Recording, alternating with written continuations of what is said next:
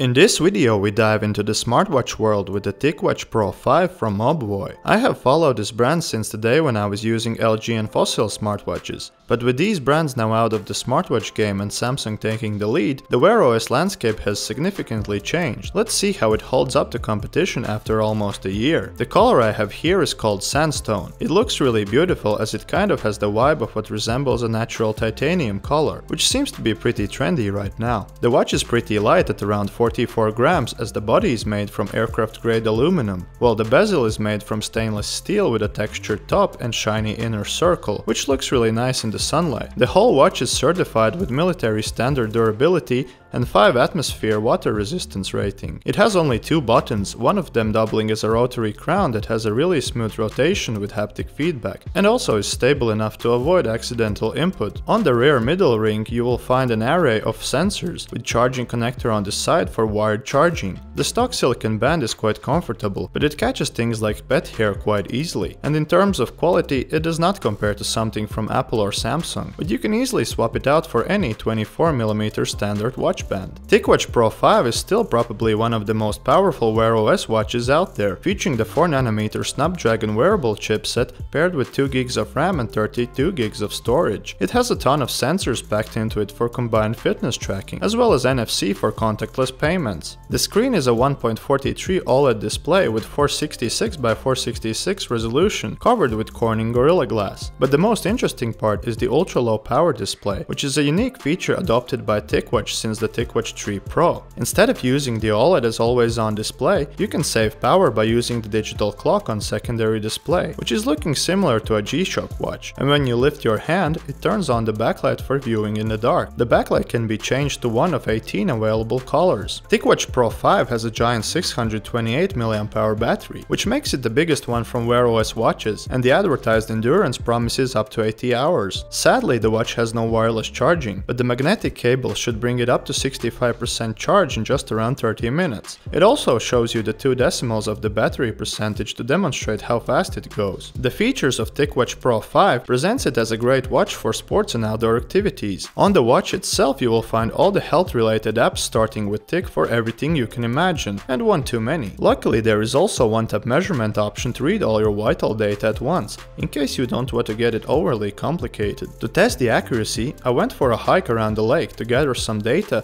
while taking some other watches with me too. With Galaxy Watch side by side, the GPS tracking was pretty accurate, with minor differences possibly due to the reception. During the workout, the low power display comes handy, as it changes the backlight based on your heart rate intensity, ranging from blue to red, if you reach the maximum. While hiking, the TicWatch also drew up a map on the exercise screen, which I was hopeful to review after the hike, but it was simply not displayed in the summary when viewing in the mobile Health app. Comparatively, Samsung had all the map data shown, so for some reason not all workout types end up with the same detailing on the workout parameters, so tracking can be a hit or miss. Sleep tracking also works as expected, and while the watch is sporting a skin temperature sensor, it does not give you a specific temperature reading, but instead it tracks the changes of the temperature throughout the sleep. It also supports sync with third-party services currently limited to Google Health and Strava. The watch comes with Wear OS currently still at version 3.5, with version 4 update yet to be announced, which is about time.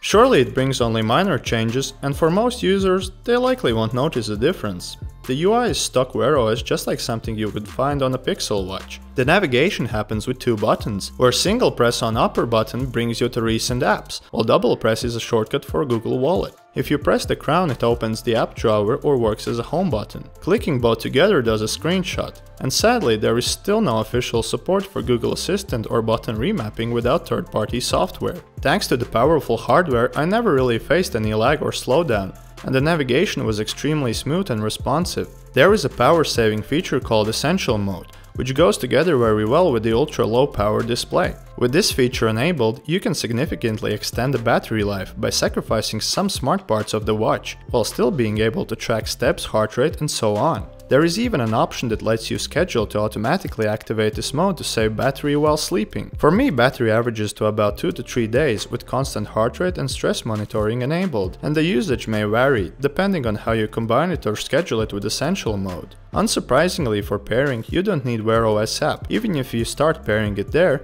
you will be redirected to download Mobvoi Health app automatically. And this is what upset me the most. I can understand this kind of approach as Samsung did the same with its Galaxy wearable app when Galaxy Watch 4 first came out. But the issue with Mobvoi Health app is its lack of functionality. There are basic customization options where you can change things like watch face from the app, adjust some settings and so on. But for most people it would be fine. But if you are a power user or coming from a Galaxy watch like me, then you will be upset of how limited the customizability is. For example, I usually follow how much battery I have left, but to actually see which apps or functions are consuming it is not possible, so I'm not even able to pull some useful metrics. The TicWatch Pro 5 still remains a decent competitor in the Wear OS market, and it will probably be the best choice for an Android user, unless of course you're a Galaxy user. Being almost a year old, it still has the latest generation wearable chipset that Qualcomm has to offer, and it also delivers very good battery life paired with the dual display technology that makes it truly unique and useful. Build materials could be more premium, with the competition now sporting sapphire glass and more durable steel frames. Overall the design is pretty refined, classy, while not too flashy, and the biggest drawback of this watch is the software. It comes nowhere near the functionality and customizability that a Galaxy Watch has, and the future of software updates can also seem a bit questionable. With the current price tag being around 200 $160, it is quite affordable, but for a bit more, Galaxy Watch 6 Classic could be a good alternative. Let me know your thoughts on the TicWatch Pro 5 and what kind of smartwatch are you using.